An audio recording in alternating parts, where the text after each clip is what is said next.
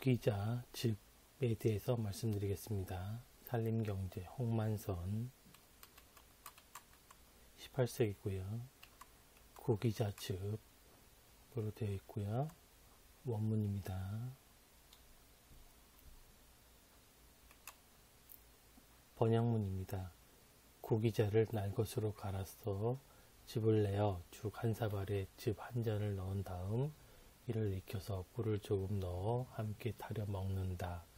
신은지 구기자와 지황을 각각 즙을 내어 즙한 대에 꿀 반 대를 타고 사기 냄비에 함께 타려서 묽은 엿과 같이 만들어 매번 크게 한 숟가락씩을 술이나 끓인 물에 타서 먹는다. 이렇게 되어 있습니다.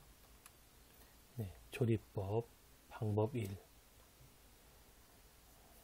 구기자를 날것으로 갈아 즙을 만든다. 2.